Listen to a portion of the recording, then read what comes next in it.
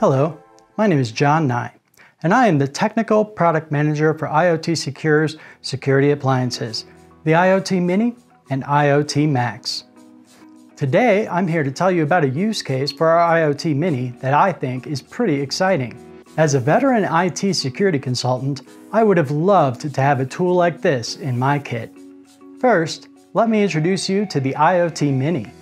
We do make an enterprise-grade version called the IoT Max, which is perfect for enterprises who need to rack mount their equipment in the data center.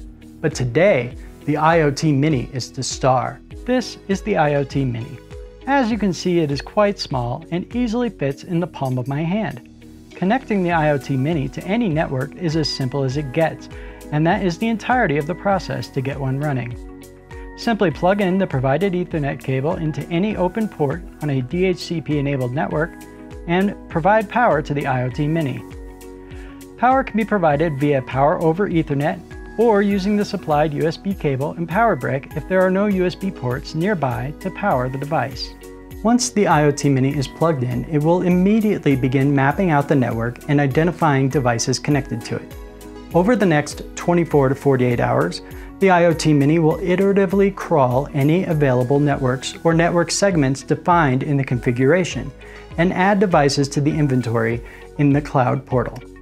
When you have the device plugged into a client's network, you can log into the cloud portal at any time to see the progress, review discovered devices, or a plethora of other actions.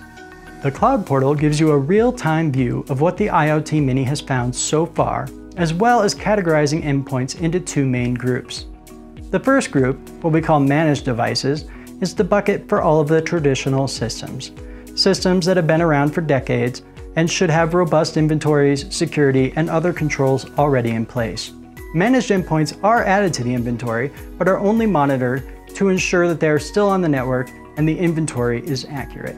The other category of endpoints, the ones the IoT security appliance is designed to protect, the unmanaged devices are all the endpoints that cannot be managed by the legacy security tools and programs already in place. The unmanaged endpoints include all of your Internet of Things, Biomed, ICS SCADA, OT, and any other kind of non-legacy endpoints.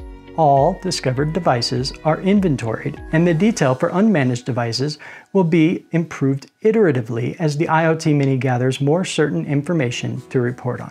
MSPs can use the details and information collected by the IoT Mini to better understand the networks their clients pay them to maintain and secure.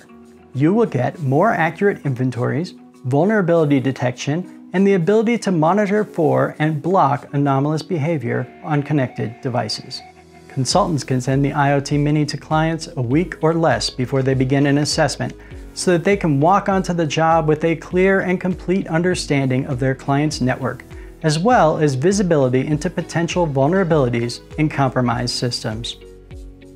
To see the IoT Mini in action for yourself, go to iotmini.io and request your own free IoT Mini.